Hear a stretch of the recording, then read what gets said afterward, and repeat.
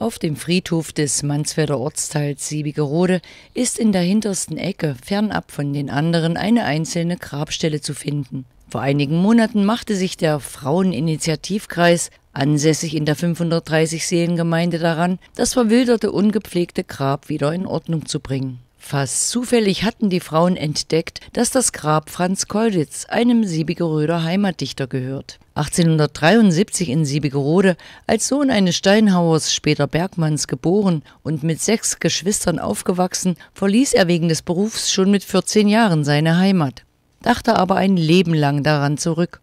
Bevor er 1947 in Essen starb, hatte er jahrzehntelang in den verschiedensten Zeitungen und Zeitschriften sowie in gebundener Form selbstgeschriebene mundartliche Dichtung veröffentlicht. Daran wollten die Frauen erinnern und fanden im Pfarrer Matthias Paul aus Mansfeld einen wohlwollenden Mitstreiter. So luden sie am 22. Juni 2019 gemeinsam mit der Kirchengemeinde zu einem Kolditznachmittag in das Siebigeröder Gotteshaus ein. Das kimmet davon, wenn man Geld sparen will. Sie werden jetzt lachen, wie ich das ausgesprochen habe. Das war jedenfalls das erste Gedicht, mit dem er an die Öffentlichkeit gegangen ist. Das Gedicht hatte einen vollen Erfolg und führte Kolditz auf das Gebiet, das heute seine Stärke ist. Der Bergmannskalender, Kamerad Martin, der Bergbote, die Mansfelder Zeitung brachten in der Folgezeit gern seine Beiträge und haben im Laufe der Jahre etwa 100 seiner Gedichte und Erzählungen veröffentlicht. Ich kann Ihnen sagen, es sind dann weitaus mehr noch geworden.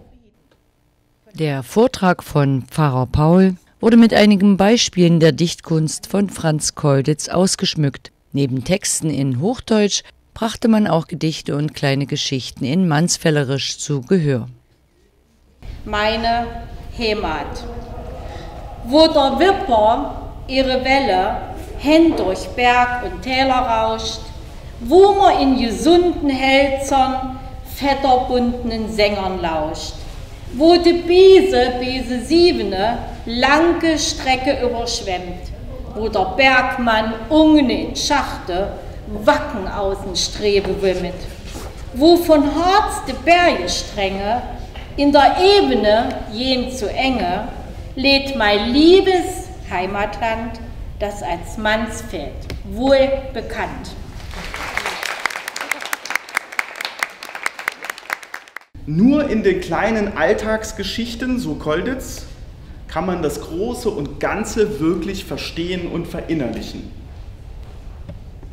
Nur in den kleinen Alltagsgeschichten, in den wirklich kleinen Gedingen, kann man wirklich das Große und Ganze wiederentdecken und auch verstehen. Er beschreibt nun Orte und ihre Ortsgeschichte. Es fängt beim Küffäuser an und geht bis zum Falkenstein. Es beginnt am Süßen See und läuft bis in die Harzdörfer hinein. Es sind Legenden, die verarbeitet werden. Es sind Geschichte und Geschichten. Er thematisiert die Veränderungen, die hier zu erleben sind. Besonders als er dann als erwachsener Mann immer wieder hier zum Urlaub zurückkehrt. Die ehemalige Musiklehrerin Annemargret Enke und ihr Mann, ebenfalls Siebige Röder, hatten zum Schluss noch etwas ganz Besonderes vorbereitet. Das Vortragen des Mansfeldliedes, ebenfalls von Franz Kolditz. Die Originalnoten fanden sie im Nachlass ihrer Vorfahren, sogar mit einem Begleitschreiben des Dichters. Da es recht unwahrscheinlich ist, dass das Lied je öffentlich aufgeführt wurde, handelte es sich möglicherweise sogar um eine Uraufführung wo der Himmel seinen Bogen spannt, von dem Harz bis an den Saalestrand, über tiefen Wald und saft'ge Auen, auf die Förderturm und Schlote schauen, wo die Erde reiche Schätze trägt, wo man Kupfer aus den Flößen schlägt, wo das Silber rinnt aus Schieferstein.